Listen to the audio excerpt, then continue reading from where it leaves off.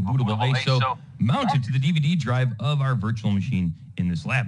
Now, because our disk attached to this machine has absolutely nothing on it, as soon as this machine fires up, it's going to launch us into the Windows installation wizard.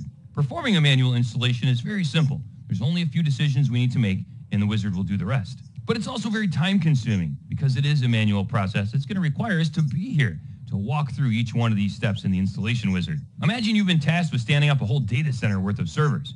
Doing that manually would take you weeks, if not longer. So this is why we have tools out there like WDS, Windows Deployment Services, and SCCM, System Center Configuration Manager. These tools allow us to perform mass deployments and automate a lot of the decisions you're about to see here. But we need to learn how to walk before we can run.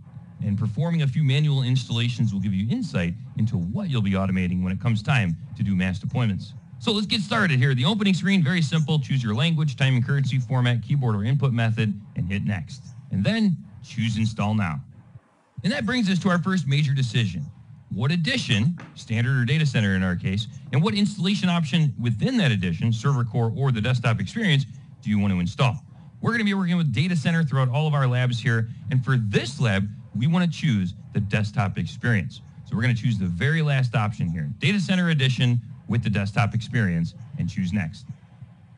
Next up, we need to accept the EULA the end user license agreement. So make sure you give this a read from top to bottom. I'm just kidding. You don't need to do that. Just check the box and hit next. Next up, we need to choose an installation type. Is this going to be an in-place upgrade or a clean installation? An in-place upgrade requires that a previous version of Windows is already running on this machine. It is not for us, so our only option here is going to be a clean installation. And by the way, we have a nugget dedicated to upgrading and migrating to Server 2016. So we'll look at the specifics in that nugget and talk about when you would perform an in-place upgrade over a clean installation. But for this nugget here, let's go ahead and choose our second option, and that's going to bring us to our final step of the wizard. Where do you want to install Windows to? This screen is going to list all of the disks attached to the machine that Windows can see. Now, if this list is empty, or there's a disk that doesn't show up in this list, that means Windows doesn't have the appropriate driver to see and work with that disk. And that's where these first two buttons come into play. So what you would do if you ever run into that situation is first acquire the driver. If you have it lying around, great. If you don't, you can probably download it from the manufacturer's website.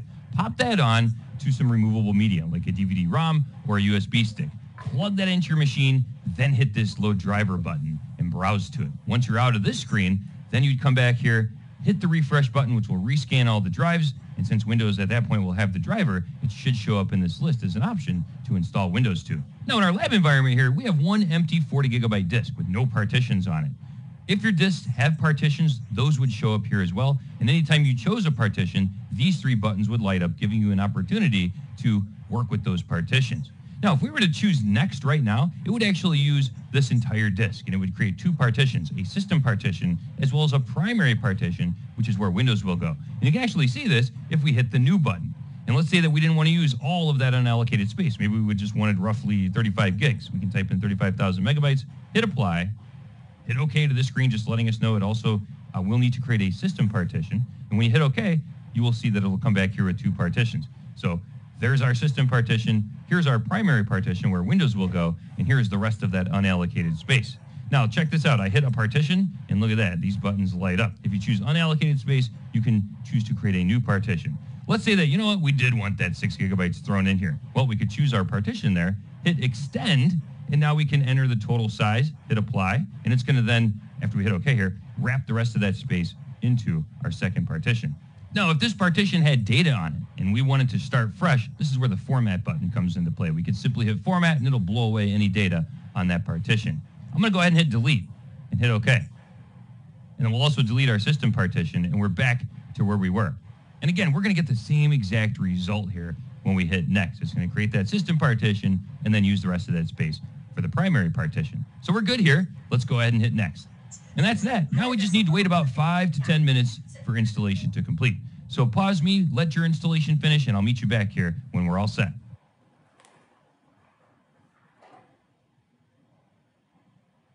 And we're done. Installation is completed successfully. It performed a couple of reboots. And the last thing we need to do here is supply a password for the local built-in administrator account. So you can enter it in here, or I'm going to use the lab controls to paste in our password and then also confirm it. Once we're done, we can go ahead and hit finish. And now we can log in for the first time. So once again, I'm going to use the lab controls here to send a control delete over. Enter or paste in the password that we just supplied and hit login. Once the desktop loads up, Server Manager will launch automatically. This is our graphical utility for managing this server. We'll come back to here in, a second. First, let's just configure the UI real quick here. We're going to change our resolution so we can see everything in one view here. I'm going to right click on the desktop, head into display settings, head down here to advanced display settings, and we're going to drop down our resolution here, and I'm just going to change this to 1280 by 720 and hit apply. There we go. Much better. Now, another thing we're going to do here is I like to hide all this stuff down in the lower right to remove the distraction. So I'm going to right click on the taskbar, head into settings. And from here, we're going to scroll down to the bottom. I'm going to choose to turn system icons on or off. So I'm just going to turn all of these to off. That looks good. And now this is what our UI will look like going forward for all of our lab environments. We're also going to run BGInfo up here so you'll always know what machine you're on. It'll be burned into the desktop.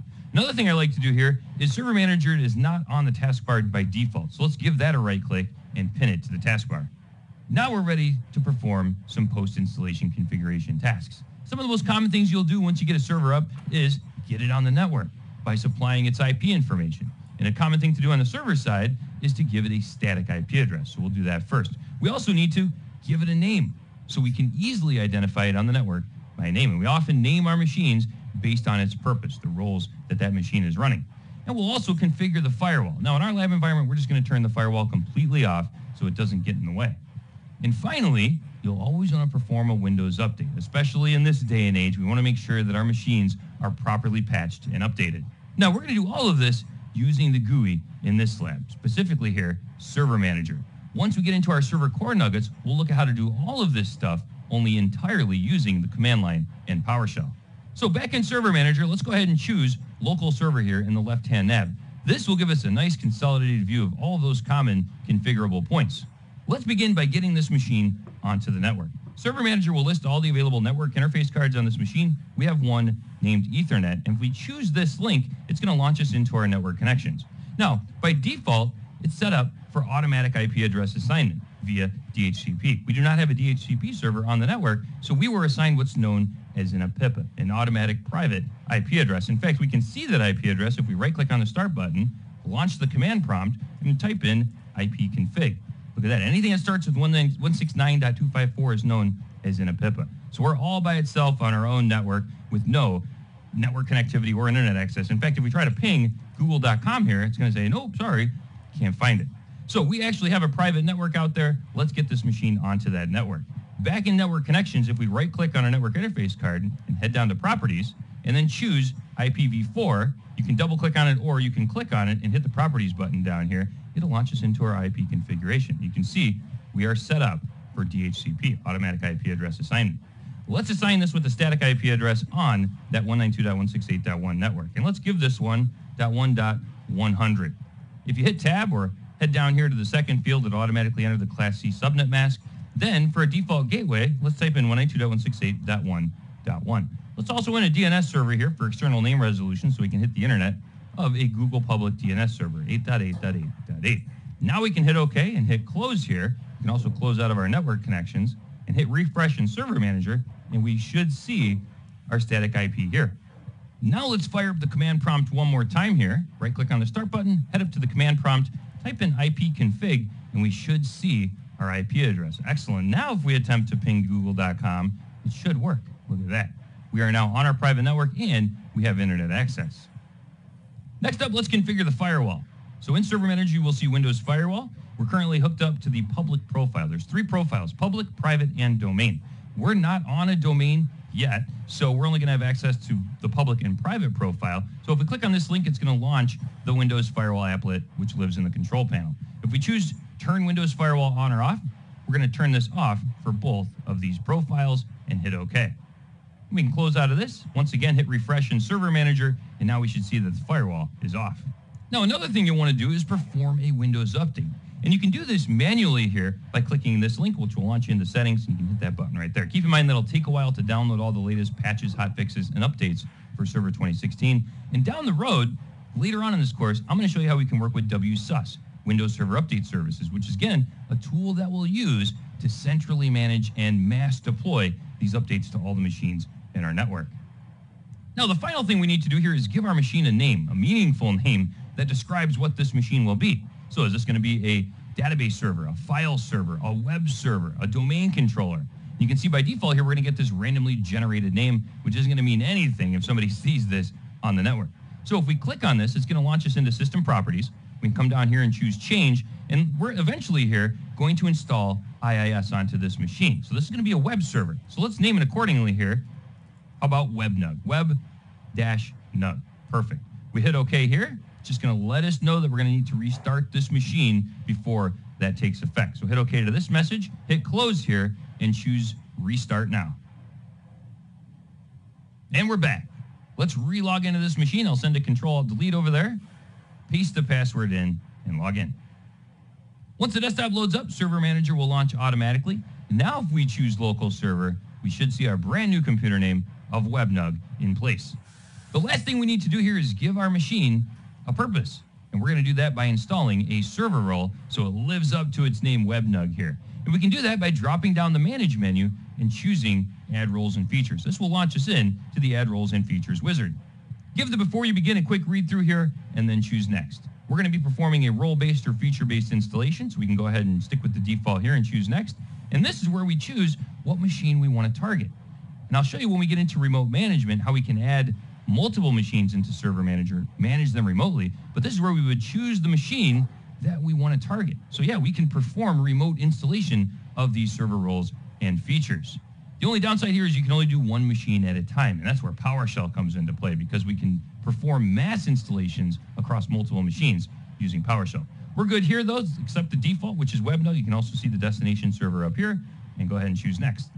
Next up is the big one. These are all the server roles that come with Server 2016. So this is where we would choose one or more roles that would define the primary purpose of this machine. So what is this machine's purpose in life? Is it going to be an Active Directory based server, a DHCP server, maybe a DNS server, maybe both of those? Is it going to be a Hyper-V host, maybe a print server, or what we're going to choose here, a web server. Also, if we scroll down a little bit here, we'll also see Windows deployment services, and there's Windows Server update services. Now, many of these larger server roles, again, have role services associated with them, which are those underlying components that make up the server role. Some of the smaller ones, like DHCP or DNS, aren't going to have any role services associated with them. They only perform one function. In fact, if we choose DHCP server here, and by the way, choosing many of these server roles will pop up in this screen, which says, do you want to also include the administration tools, the remote server administration tools. If you hit add features, it'll actually automatically check the features and it's showing you where they live in the feature list. We'll head over there in a second. But I'm going to go ahead and choose yes,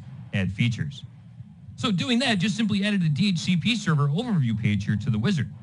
If this had role services associated with it, they would be listed underneath. In fact, if we head back to server roles here, and let's choose print and document services, for instance. And I'll go ahead and choose yes to add these features as well. Now, underneath print and document services, the overview page, we get role services. So what do we want this to be? A print server, a scan server, an internet printing server, or all of those? So role services, again, are just the underlying components that make up that server role. So in this case, you can just think of the server role as simply a grouping. Now let's head back up here to server roles, and let's go ahead and uncheck print and document services and uncheck DHCP server. Again, we're going to turn this in to a web server. So let's scroll down here and let's choose web server, which will install Internet Information Services. We also want the management tools associated with it, so we'll go ahead and choose add features. And now let's hit next to move on to features. So again, features don't define a server, they augment, and they can add tools and support to existing server roles. In fact, check it out, we have containers, something we'll talk about heavily in this course. We could add container support here onto this machine. We could add failover clustering, something else we'll be talking about in this course for high availability. Maybe we're spinning up a farm of web servers that we want to be highly available. We could add failover clustering to all of those machines. As we scroll down here, we'll also see remote server administration tools. Notice we've got a checkbox there. If we expand this, check it out. Even though we uninstalled DHCP and print and document services, it still left its features in here. So we could uncheck those individually or uncheck role administration tools and they'll go away. But this is where that, that dialog box that popped up when you chose a server role comes into play because if you choose add features, it's going to check the tools associated with that feature here. So here's where you can manage them. And as we scroll down further here, you'll also see some of the built-in features like PowerShell in Windows Defender. So this is where, if we expand this here, you'll see that we have PowerShell 5.1 and the integrated scripting environment, all things we'll be getting quite heavily into throughout the course. But this looks good. We don't need any extra features here, so let's go ahead and hit next. And now we're back to our server role. There's our overview page. If we hit next, we can choose all of the role services that we want to include in IIS. A web server, we could turn this into an FTP server, and its management tools are actually implemented as a role service here for IIS. So we'll get the IIS management console included. We're good with the defaults, so let's go ahead and hit next. And we're done. So the confirmation screen here will just give you a quick overview of everything that you're installing. If that feature requires a restart, you can have it do so automatically. We're good though. So let's go ahead and install and just wait a few minutes for this to complete. Once it's done, you should get an installation succeeded message. We can hit close. And now we can see IIS is a role. It gets its own group over here in the left-hand nav. We can also see if we drop down the tools menu, we should have our management tool here, Internet Information Services Manager. If we launch this, I'm just going to go ahead and maximize it here, expand our WebNug machine, we should have a default website in here. So if we expand sites, there's the default website. If we head down here to content view, here it is. It's just an HTML page referencing this image. Let's test it out. Let's fire up a browser. In the address bar, enter localhost. And look at that.